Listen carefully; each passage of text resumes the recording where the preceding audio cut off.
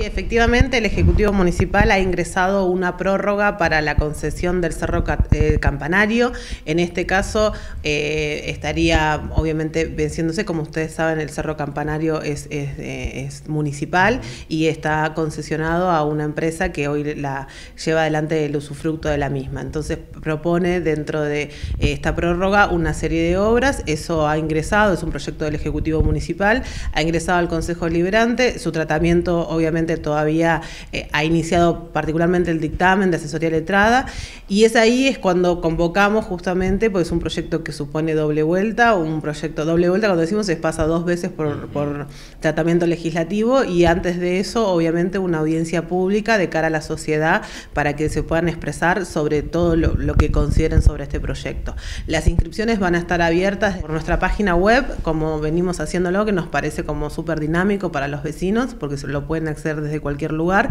o si les parece, eh, les resulta más cómodo, es acercándose a la mesa de entrada al Consejo Deliberante. En esa misma página web ustedes van a encontrar un link, en el link van a encontrar no solamente la posibilidad de inscribirse, sino también el proyecto y todos los antecedentes necesarios para poder opinar sobre el mismo, y la misma se va a llevar eh, adelante el 4 de julio en nuestra sala de sesiones. ¿Cuál es la expectativa respecto de la participación? Bueno, porque es ni más ni menos que eh, una concesión de un, de un área, de un lugar tan importante por eh, décadas por delante.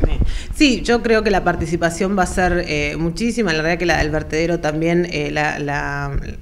propuesta de vertedero que había traído el Ejecutivo generó muchísima participación con diferentes cuestiones, con gente que ha trabajado mucho sobre sus propuestas, donde nos han traído no solamente la exposición, sino aparte de documentos respaldatorios que, aportan muchísimo al debate. Y justamente desde esta gestión eh, hemos siempre decidido que las audiencias públicas sean al inicio del tratamiento de los proyectos, porque entiendo que es para que podamos escuchar a los vecinos, para que recepcionemos sus pedidos o las oposiciones que puedan llegarse a generar y a partir de eso llegar al mejor proyecto posible, por lo menos a sesión. Después se verá si consigue el apoyo o no.